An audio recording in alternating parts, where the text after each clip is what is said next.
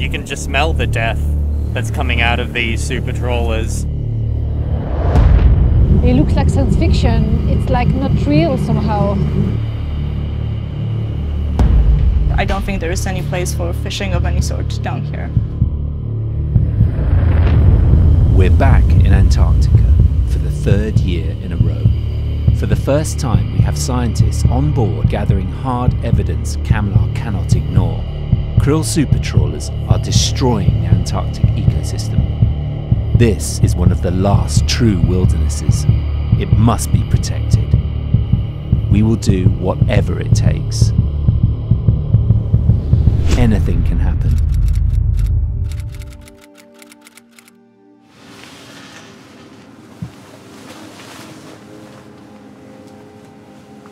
I am so excited. This is what I've always wanted to do, fighting for the oceans in Antarctica.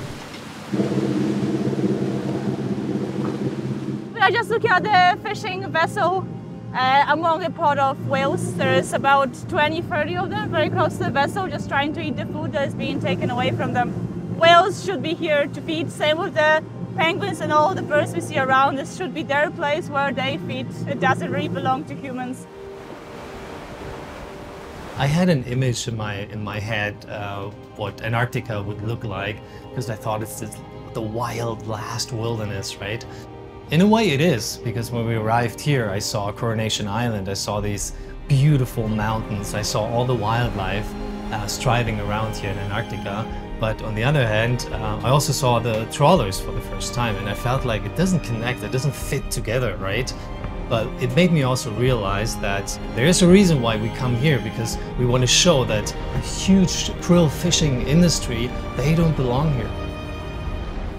Seeing the trawlers from the small boat for the first time, I, I felt pretty overwhelmed. It was a smell. It just felt like rotting life.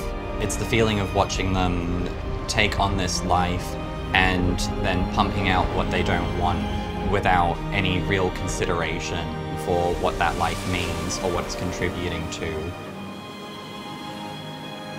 The trawlers, they are never stopping, so we are experiencing bad weather, like a lot of wind, a lot of waves, like visibility condition terrible. They are never stopping, always fishing. They are not even going to port to offload, they are using reefers. So the feeling, the general feeling I have is that Antarctica cannot rest, the krill cannot rest, so the whales cannot rest.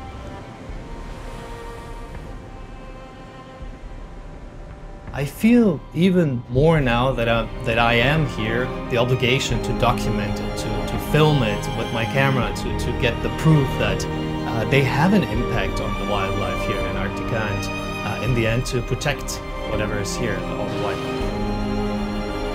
There should be no fishing allowed of any sort, it should be protected just for wildlife and not for humans.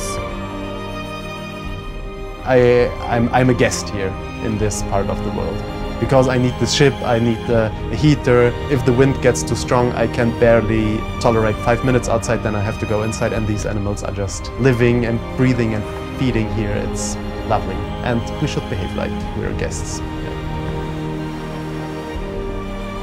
Two months ago, I, I personally had never even seen a whale at all, and now suddenly I'm surrounded by hundreds of them.